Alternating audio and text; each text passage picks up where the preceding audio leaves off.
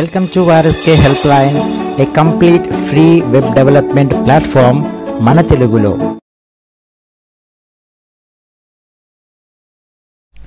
Hello guys welcome back to my new brand series of Angular version sixteen in Telugu so previous క్లాస్లో మనం ఏం చేసినామంటే two components అయితే create చేసుకున్నాం. ఒకటి వచ్చేసి కోర్స్ నేమ్స్ కోసము ఒకటి వచ్చేసి కోర్స్ డీటెయిల్స్ కోసం కోర్స్ నేమ్ అనేటువంటి కాంపోనెంట్లో డేటా ప్రొవైడ్ చేశాము. సో దాన్ని మనము వ్యూ ఫైల్లో చూపించుకున్నాం.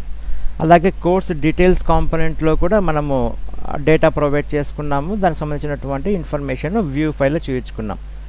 సో ఇలా చేయకూడదు అని చెప్పాను. ఎందుకని? ఇలా చేస్తే మనము డ్రై ప్రిన్సిపల్ అంటే మీ do not repeat yourself అన్నటువంటి ప్రిన్సిపల్ని మనము వైలేట్ చేస్తున్నట్లు. ఏం ప్రిన్స్ ఆ ప్రిన్సిపల్ ఏం చెప్తుంది? డేటా అనేది మల్టిపుల్ ప్లేసెస్లో డూప్లికేట్ చేయకూడదు. Data must be reside at only one place. Data అనేది ఒకే ప్లేస్లో ఉండాలి. మనము ఆ ప్లేస్ నుంచే డేటా అనేది షేర్ చేసుకోవాలని చెప్పాను సో ఇలా డేటా ప్రొవైడ్ చేసే దానికోసం మనం ఏం చేస్తామంటే డిపెండెన్సీ ఇంజెక్షన్ ద్వారా మనము ఈ యాంగులర్లో సర్వీసెస్ని యూజ్ చేస్తాం. సో సర్వీసెస్ని ఎందుకు యూజ్ చేస్తామంటే డేటా ప్రొవైడ్ చేయడానికి మనము సర్వీసెస్ని యూజ్ చేస్తాం. సింపుల్గా చెప్పాలంటే. కాబట్టి ఇక్కడ నా కంపెనీ నా దగ్గర ఎటువంటి సర్వీసెస్ లేవు కాబట్టి నేనేం చేస్తాను ఇప్పుడు ఒక సర్వీస్ని క్రియేట్ చేస్తాను. సో ఎలా క్రియేట్ చేయాలి? ఎన్జీ జీ ఫర్ జనరేట్ ఇంతకుముందు సి ఫర్ కాంపోనెంట్ రాసేవాళ్ళం. ఇప్పుడు మనం ఏం చేస్తాము? Yes for service okay service కూడా రాయొచ్చు. ఎస్ఈఆర్బిఐసిఈ సర్వీస్ అని కూడా రాయొచ్చు. ఎస్ చాలు. ఓకే సర్వీస్ మనం ఏం ఫాలో అవుతున్నాము? ఇప్పటిదాకా కాంపోనెంట్స్ అన్నీ ఒక ఫోల్డర్లో ప్లేస్ చేసుకుంటున్నాము. మాడ్యూల్స్ అన్నీ ఒక ఫోల్డర్లో ప్లేస్ చేసుకుంటూ వస్తున్నాం. అలాగే సర్వీసెస్ కూడా మనం చాలా సర్వీసెస్ రాస్తాం కమింగ్ క్లాసెస్లో కాబట్టి సర్వీసెస్ని కూడా ఒక సపరేట్ ఫోల్డర్లో క్రియేట్ చేసుకుందాం. సో దానికోసం అని చెప్పేసి నేను ఎస్ఈఆర్ విఐసిఈఎస్ సర్వీసెస్ అనేటువంటి ఫోల్డర్లో ఏం చేస్తాను? ఒక సర్వీస్ నేమ్ చేస్తే సర్వీస్ నేమ్ అయితే ఇస్తాను. ఏదైనా ఇచ్చుకోవచ్చు సో ఫర్ ఎగ్జాంపుల్ నేను కోర్స్ అని ఇస్తాను. కోర్స్ సర్వీస్ కూడా మనకి స్పెక్ ఫైల్ వస్తుంది. అంటే టెస్టింగ్ కోసం యూస్ చేసేటటువంటి స్పెక్ ఫైల్ వస్తుంది దాన్ని స్కిప్ చేసేద్దాం. So dash dash escape skip dash test is equal to T R U true so ఇక్కడ చూసినట్లయితే ఇప్పుడు యాంగులర్కి ఏమర్థమవుతుంది? ఒక సర్వీస్ క్రియేట్ చేయాలి. ఎక్కడ క్రియేట్ చేయాలి? సర్వీసెస్ అన్నటువంటి ఫోల్డర్ సో సర్వీసెస్ అన్నటువంటి ఫోల్డర్ క్రియేట్ చేస్తుంది. అందులో కోడ్స్ అన్నటువంటి సర్వీస్ మనకి క్రియేట్ అవుతుంది. మీరు గమనించినట్లయితే నేమింగ్ కన్వెన్షన్స్ ఎలా ఉన్నాయి చూడండి ఇక్కడ మనకి. ఇది మనకి కాంపొనెంట్ యాప్ అనేది కాంపొనెంట్ కాబట్టి డాట్ కాంపొనెంట్ అని వచ్చింది. ఇక్కడ మనం క్రియేట్ చేసిన సర్వీస్ కాబట్టి కోర్స్ అనే దానికి డాట్ సర్వీస్ అనేది వచ్చింది మనకి. ఓకే సో ఇప్పుడు ఏం చేస్తాను? ఈ సర్వీస్లో డేటాని ప్రొవైడ్ చేస్తాను. సో డేటా ఎలా ప్రొవైడ్ చేస్తాను? ఇక్కడ చూడండి ఒక మెథడ్ అయితే రాస్తాను. ఈ మెథడ్లో డేటా ప్రొవైడ్ చేస్తాను. ఈ మెథడ్ని నేను కాంపొనెంట్లో కాల్ చేసుకుంటాను. కాబట్టి గెట్ కోర్స్ ఇన్ఫో అని చెప్పేసి ఒక మెథడ్ అయితే రాస్తాను. ఈ మెథడ్ ఏం చేస్తుంది? ఏ ఏ కాంపనెంట్స్ అయితే ఈ సర్వీస్ని కాల్ చేస్తాయో ఆయా కాంపోనెంట్స్కి డేటా అనేది ప్రొవైడ్ చేస్తుంది ఈ సర్వీస్ కాబట్టి మనం ఏం చేయాలి? రిటర్న్ చేయాలి. ఎవరెవరైతే ఏ కాంపనెంట్ అయితే ఈ సర్వీస్ని కాల్ చేస్తుందో ఆ సర్వీసెస్కి డేట్ అనేది రిటర్న్ చేయాలి ఇది. కాబట్టి ఆర్ఈటియు ఆర్ఎన్ రిటర్న్ మన దగ్గర డేటా ఆల్రెడీ ఉంది కదా? ఇక్కడ ఉంది మన కాంపనెంట్స్లో పెట్టుకున్నాం. సో ఆ డేటాని ఇక్కడ మనం ప్లేస్ చేద్దాం. సో రిటర్న్ చేస్తున్నాం ఈ డేటాని ఇక్కడ కాపీ చేసి మన సర్వీస్లో ఎక్కడ ఉంది సర్వీస్ అది? ఇక్కడ ఉంది. సో రిటర్న్ చేస్తున్నాను. ఇలా రిటర్న్ చేస్తున్నాను. సింపుల్ సేవ్ చేస్తాను. గుర్తుపెట్టుకున్న పాయింట్ ఏంటి అంటే ఈ సర్వీసెస్ అనేవి ఒక పర్టిక్యులర్ మాడ్యూల్లో ఏదైనా కాంపనెంట్ యూస్ చేసుకోవచ్చు. కాబట్టి మన ప్రాజెక్ట్లో ఎన్ని మాడ్యూల్స్ అయినా ఉంటాయి. ఎన్నో కాంపనెంట్స్ ఉంటాయి. ప్రతి కాంపనెంట్కి ఈ సర్వీస్ అనేది అవైలబిలిటీలో ఉండాలి. కాబట్టి వీటిని మనము రూట్ మాడ్యూల్ అయినటువంటి యాప్ మాడ్యూల్లో మనం రిజిస్టర్ చేయాలి. ఓకే సో అంటే మనం ఏం చేసుకోవాలి ఇక్కడ? రూట్ మాడ్యూల్ అనేటువంటి యాప్ మాడ్యూల్లో ఇక్కడ చూసినట్లయితే మనకి ప్రొవైడర్స్ అర్రే ఉంటుంది. ఇక్కడ ఈ రూట్ మాడ్యూల్లో ప్రొవైడర్స్ అర్రే ఉంటుంది. ఈ ప్రొవైడర్ సర్వేలో మనము క్రియేట్ చేసినటువంటి సర్వీసెస్ని ప్రొవైడ్ చేసినట్లయితే మన దగ్గర ఉన్నటువంటి ప్రతి మాడ్యూల్లో ఉన్నటువంటి ప్రతి కాంపోనెంట్లోకి ఈ సర్వీస్ అనేది అవైలబిలిటీ వస్తుంది. కాబట్టి ఏ మాడ్యూల్లో ఉన్నటువంటి ఏ కాంపోనెంట్ అయినా సరే ఈ సర్వీస్ని యూజ్ చేసుకోవచ్చు. కాబట్టి ఇక్కడ నేను నేనేం చేయాలి? ఇప్పుడు నేను క్రియేట్ చేసినటువంటి కోర్స్ సర్వీస్ అన్నటువంటి దాన్ని నేను ఇక్కడ రిజిస్టర్ చేస్తాను రూట్ మాడ్యూల్లో. ఇది ఇప్పటిదాకా మనం యూస్ చేస్తున్నటువంటి ప్రీవియస్ వర్షన్స్ అనేటువంటి ఆంగ్లోర్ వర్షన్ ఫోర్టీన్ వరకు ఇలా జరిగ ఇలా ఖచ్చితంగా రిజిస్టర్ చేయాలి. But after that Angular versions fifteen నుంచి ఏమైంది అంటే ఇక్కడ మీరు గమనించినట్లయితే ఈ సర్వీస్ ఫైల్ చూసినట్లయితే ఇక్కడ మనకి ఇంజెక్టబుల్ అన్నటువంటి డెకరేటర్ ద్వారా బై డిఫాల్ట్గా రూట్ అన్నటువంటి మన మాడ్యూల్లో రిజిస్టర్ చేసేస్తోంది. కాబట్టి మీరు ఇప్పుడు ఇది మీరు రాసినా రాయకపోయినా పర్లేదు మీకు వర్క్ అవుతుంది. బట్ ట్రెడిషనల్ ఫార్మాట్ ఏంటి అంటే ప్రతి సర్వీస్ని కూడా మనము ప్రొవైడర్స్లో రిజిస్టర్ చేసుకోవడం అనేది అలవాటు చేసుకోండి. ఇది మంచి పద్ధతి. Okay?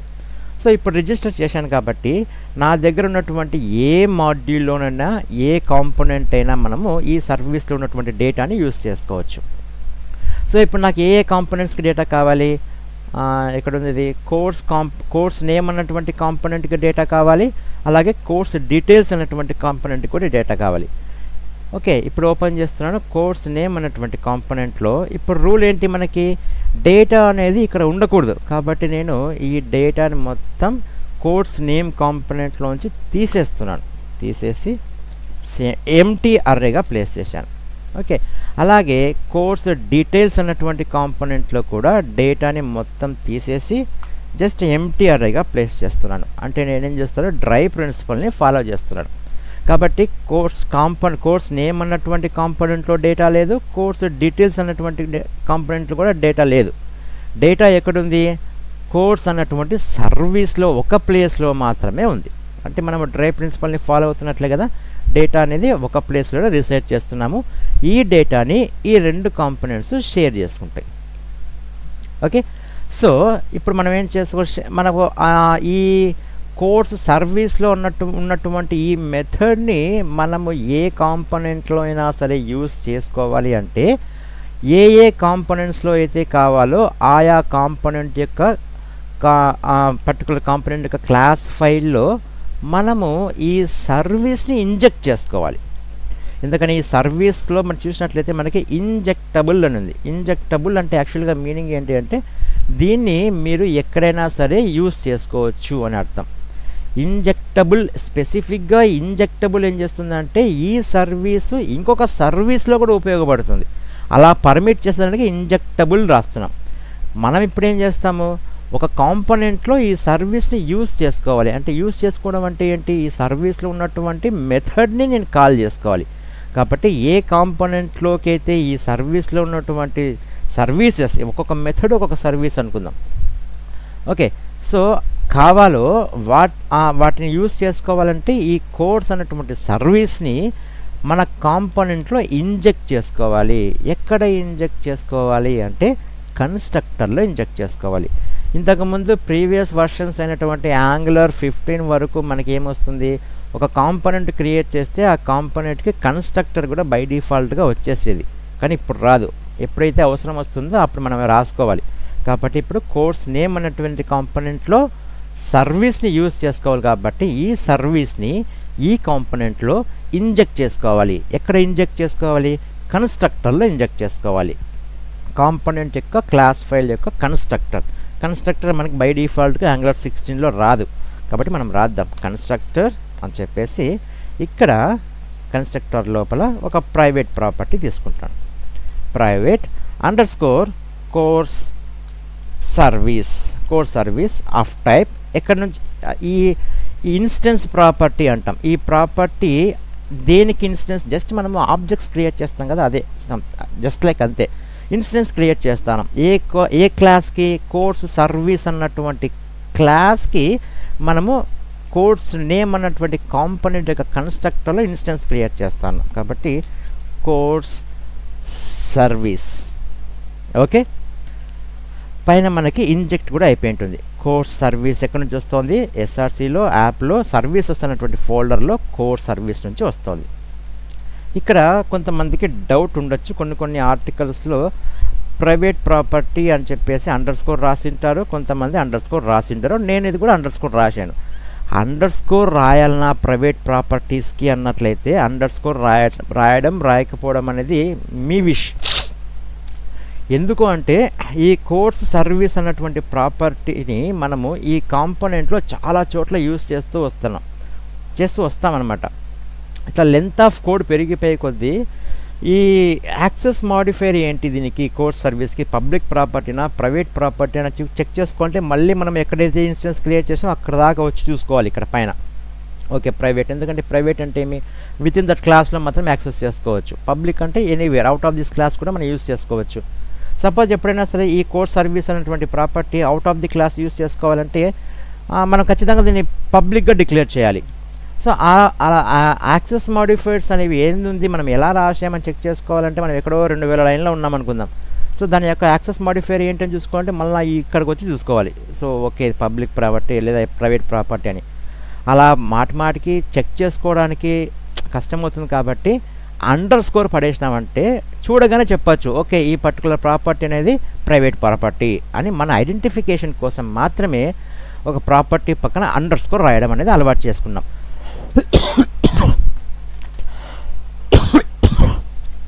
Excuse me so underscore ఎందుకు రాసాము జస్ట్ ప్రాపర్టీ నేమ్ చూడగానే అది ప్రైవేట్ ప్రాపర్టీనా లేదా పబ్లిక్ ప్రాపర్టీనా అని తెలుసుకోవడానికి మాత్రమే అండర్ స్కోర్ రాస్తాం. నేను రాయను సార్ అంటే మీ ఇష్టం. రాసినా రాయకపోయినా తప్పే లేదు కంపల్సరీ ఏం కాదు. ఓకే సో ఇప్పుడు కాంపనెంట్ యొక్క కన్స్ట్రక్టర్లో మనకి ఏ సర్వీస్ అయితే కావాలో ఆ పర్టికులర్ సర్వీస్కి మనము ఇన్స్టెన్స్ ప్రాపర్టీని క్రియేట్ చేసాం కాబట్టి ఈ ఈ సర్వీస్లో ఉన్నటువంటి ఏ మెథడ్నైనా యూస్ చేసుకోవాలంటే దీని ద్వారా యూస్ చేసుకోవచ్చు ఈ ఇన్స్టెన్స్ ప్రాపర్టీ ద్వారా యూస్ చేసుకోవచ్చు. ఓకే ఫైన్ ఇప్పుడేమి? సో ఈ కన్స్ట్రక్టర్లో నేను డిఫైన్ చేస్తాను. సో కాల్ చేస్తాను. సో ఎలా కాల్ చేస్తాను? ఇప్పుడు ఈ పబ్లిక్ ప్రాపర్టీ కాస్త నేను కట్ చేసి పైన పెడతాను. ఓకే. ఇప్పుడు ఆ కోర్స్లోకి రావాలి నాకు. కాబట్టి దిస్ డాట్ లోకల్గా కాంపోనెంట్లో ఉన్నటువంటి కోర్స్ అన్నటువంటి ప్రాపర్టీలోకి ఇజ్ ఈక్వల్ టు ఎట్లా? కోర్సు సర్వీస్లో ఒక మెథడ్ ఉంది. ఆ మెథడ్ డేటాను రిటర్న్ రిటర్న్ చేస్తోంది. కాబట్టి ఆ మెథడ్ని యూస్ చేసుకోవాలంటే ఆ సర్వీస్లో ఉన్నటువంటి ఇన్స్టెన్స్ ప్రాపర్టీని యూస్ చేసుకోవాలి. కాబట్టి is equal to underscore course service dot press చేయగానే ఆ ఇన్స్టెన్స్ ప్రాపర్టీ ద్వారా మనం ఏం చేయొచ్చు? ఆ సర్వీస్లో ఉన్నటువంటి ఏ ప్రాపర్టీ అయినా ఏ మెథడ్ అయినా యూజ్ చేసుకోవచ్చు. ప్రస్తుతానికి మనకి మెథడ్ మాత్రమే ఉంది కాబట్టి డాట్ ప్రెస్ చేయగానే ఆ మెథడ్ చూపించేస్తుంది మనకి. గెట్ కోర్స్ ఇన్ఫో అన్నటువంటి మెథడ్ అయితే మనకు ఉంది ఓకే? ఫైన్. అంటే ఏమి? ఈ స్టేట్మెంట్ ఏం చెప్తుంది? ఈ కన్స్ట్రక్టర్లో మన కాంపోనెంట్ అనేది చూపించేటప్పుడు కన్స్ట్రక్టర్లో ఏం చేస్తుంది? ఈ ఇన్స్టెన్స్ ప్రాపర్టీ ద్వారా కోర్సు సర్వీస్లో ఉన్నటువంటి మెథడ్ని మనం కాల్ చేస్తున్నాం. ఆ మెథడ్ ఏం చేస్తుంది? సర్వీస్ మెథడ్ ఈ డేటాని రిటర్న్ చేస్తుంది. వస్తున్నటువంటి డేటాని మనం ఏం చేస్తున్నాము? కాంపోనెంట్ యొక్క పబ్లిక్ ప్రాపర్టీ ఉంది కదా కాంపోనెంట్కి సంబంధించినటువంటి ప్రాపర్టీలు స్టోర్ చేస్తా ఉన్నాం. ఎప్పుడైతే ఈ ప్రాపర్టీకి డేటా వచ్చేసిందో వ్యూ ఫైల్లో అదే ప్రాపర్టీని మనము లూప్ తిప్పుతా ఉన్నాం ఇక్కడ. కాబట్టి డేటా అనేది మనకి సక్సెస్ఫుల్గా చూపించేస్తుంది. ఓకే సేవ్ చేస్తున్నాను. ఇప్పుడు చూద్దాం. So course names component. చూడండి పర్ఫెక్ట్గా కోర్స్ నేమ్స్ అనేది వచ్చింది. ఇప్పుడు కోర్స్ డీటెయిల్స్ క్లిక్ చేస్తాను. కోర్స్ డీటెయిల్స్ క్లిక్ చేసినట్లయితే వస్తుందా? ఎందుకు వస్తుంది? ఆడ సేవ్ చేశానా? So course details component. So ఇక్కడ సేవ్ చేయలేదు. సో కాబట్టి డేటా వస్తుంది. ఎందుకంటే యాక్చువల్ డేటా తీసేసాను ఇక్కడ. రాకూడదు ఇప్పుడు. సేవ్ చేస్తున్నాను. సో ఇప్పుడు చూడండి. కోర్స్ నేమ్స్కి అయితే ఇప్పుడు డేటా సర్వీస్ నుంచి వచ్చింది కాబట్టి మనం ప్రొవైడ్ చేస్తూ చూపిస్తూ ఉంది. ఇప్పుడు కోర్స్ డీటెయిల్స్ చూసినట్లయితే డేటా లేదు కాంపోనెంట్లో లేదు ఇప్పుడు మనకి. తెచ్చుకోవాలి. ఎక్కడి నుంచి తెచ్చుకోవాలి? సర్వీస్ నుంచి తెచ్చుకోవాలి కాబట్టి the same procedure. Components course details ఉన్నటువంటి కాంపోనెంట్లో ఒక కన్స్ట్రక్టర్ రాద్దాం. కన్స్ట్రక్టర్ చేసి కన్స్ట్రక్టర్లో మనం ఏం చేయాలి? ఏం ఇంజెక్ట్ చేయాలి? మనకి ఏ సర్వీస్ కావాలో ఆ సర్వీస్ని ఇంజెక్ట్ చేద్దాం. సో ప్రైవేట్ ఇక్కడ కూడా సేమ్ నేమ్ ఇస్తాను ఏదైనా ఇచ్చుకోవచ్చు. సో కోర్స్ సర్వీస్ అని ఇస్తాను. Service of type course service suggestions ద్వారా పోయినట్టయితే మీకు పైన ఇంపోర్ట్ అయిపోతుంది లేకపోతే మాన్యువల్గా రాయాలి. సో ఇప్పుడు ఏం చేస్తాను? ఇక్కడ లోకల్గా ఉన్నటువంటి దిస్ డాట్ కోర్స్ అన్నటువంటి ప్రాపర్టీలోకి underscore course service instance property ద్వారా గెట్ కోర్స్ ఇన్ఫో అన్నటువంటి మెథడ్ని కాల్ చేస్తాను. ఆటోమేటిక్గా ఇక్కడ ఇక్కడ స్టోర్ స్టోర్ అయిపోతుంది కాబట్టి అరేలోకి వ్యూ ఫైల్లో కూడా చూపించేస్తుంది సో ఇప్పుడు control S okay fine so course names back course details perfect అంటే మనం ఇప్పుడు డ్రై ప్రిన్సిపల్ అయితే మనము ఖచ్చితంగా ఫాలో చేసాం ఎందుకని? మల్టిపుల్ ప్లేసెస్లో డేటాని ప్రొవైడ్ చేయలేదు. ఓన్లీ సర్వీస్ అన్నటువంటి ఫైల్లో ఒక చోట మాత్రమే డేటాని ప్రొవైడ్ చేస్తూ ఉన్నాం. దీన్ని మనం మల్టిపుల్ కాంపోనెంట్స్ ద్వారా కాల్ చేసి మనం డేటాని తెచ్చుకుంటా ఉన్నాం. పర్ఫెక్ట్ సో మనకి టార్గెట్ రీచ్డ్ రీచ్డా నో ఇప్పుడు ఇలా చేయకూడదు. ఏం మాట్లాడుతున్నావురా? నరాలు కట్ అయిపోయింది సార్ ఇంతసేపు చెప్పి మళ్ళీ ఇప్పుడు ఇలా చేయకూడదు అంటే ఎలా సార్ అంటారా? ఇలా చేయకూడదు. తప్పిది. మనకైతే అవుట్పుట్ అయితే కరెక్ట్గా వస్తుంది. కోర్స్ నేమ్స్ కొడితే కోర్స్ నేమ్ వస్తూ ఉన్నాయి. కోర్స్ డీటెయిల్స్ వస్తే కోర్స్ డీటెయిల్స్ వస్తూ ఉన్నాయి. మనం మళ్ళీ మనము కోర్స్ నేమ్ కాంపోనెంట్లో కూడా డేటా పెట్టలేదు. కోర్స్ డీటెయిల్స్లో కూడా డేటా పెట్టలేదు. మల్టిపుల్ ప్లేసెస్లో డూప్లికేషన్ ఆఫ్ డేటా చేయలేదు. సర్వీస్ సర్వీసెస్ని యూస్ చేసాము సర్వీస్లో డేటా ప్లేస్ చేసి అంటే సింగిల్ ప్లేస్లో ప్లేస్ చేసి డేటాను తెచ్చుకుంటున్నాం. అంత కరెక్టే కదా మరి తప్పు ఏంటి అంటే తప్పిది. ఇలా చేయకూడదు. ఎందుకు చేయకూడదు అంటే సర్వీసెస్లో కూడా డేటా రా డేటా ప్రొవైడ్ చేయకూడదు. Data must be reside somewhere else. అంటే డేటాబేస్లో ఎక్కడో ఉండాలి మనకి. సర్వీసెస్ అనేవి సర్వీస్ మాత్రమే ప్రొవైడ్ చేయాలి కానీ డేటా ప్రొవైడ్ చేయకూడదు. సర్వీస్ ప్రొవైడ్ చేయడం అంటే ఏంటి? ఆ డేటాని తీసుకొచ్చే పని మాత్రమే చేయాలి కానీ డేటాని తన దగ్గర పెట్టుకొని తన దగ్గర ఉన్నటువంటి డేటాని కాంపనెంట్స్కి ఇవ్వకూడదు. ఇలా రాయడం తప్పు. చాలామంది సర్వీసెస్లో డేటా ప్రొవైడ్ చేస్తారు. చేయకూడదు. It's a blunder mistake. కాబట్టి ఇలా కూడా చేయకూడదు. అంటే ఎలా చేయకూడదు? ఎక్కడదా కరెక్ట్? సర్వీసెస్ని యూజ్ చేసుకోవడంత వరకు కరెక్ట్. అంటే కాంపనెంట్స్లో సర్వీసెస్ని ఇంజెక్ట్ చేసుకొని ఆ ఇంజెక్షన్ చేసుకున్నటువంటి ఇన్స్టెన్స్ ప్రాపర్టీ ద్వారా సర్వీస్లో ఉన్నటువంటి మెథడ్ని కాల్ చేయడం వరకు కరెక్ట్ కానీ సర్వీస్లో డేటా ప్రొవైడ్ చేయడం చేయకూడదు తప్పది. అర్థమవుతుంది కదా? కాబట్టి డేటా అనేది ఎక్కడో ఉండాలి. ఆ ఎక్కడ ఉన్నటువంటి డేటాని సర్వీస్ అనేది తీసుకొని రావాలంతే. సర్వీస్ తన దగ్గర ఉన్నటువంటి డేటాని ఇవ్వకూడదు ఓకే కాబట్టి సర్వీస్ దగ్గర డేటా ఎప్పుడు పెట్టుకోకూడదు. సర్వీస్ సర్వీసే చేయాలి. ఓకే ప్రొవైడ్ చేయకూడదు. Okay fine. సో ఇది తప్పు. మరి ఎట్లా? నెక్స్ట్ క్లాస్లో చూద్దాం. Okay? Fine thank you guys. ఈ వీడియో మీకు నచ్చింది అనుకుంటాను సో నచ్చినట్లయితే దయచేసి లైక్ చేయండి షేర్ చేయండి. ప్రపంచంలో అందరికీ పంపించేయండి. ఒక పని అయిపోతుంది. అలాగే లైక్ బటన్ గట్టిగా దబేలను కొట్టండి. Okay? Still next class until then have a nice day bye bye Yeah.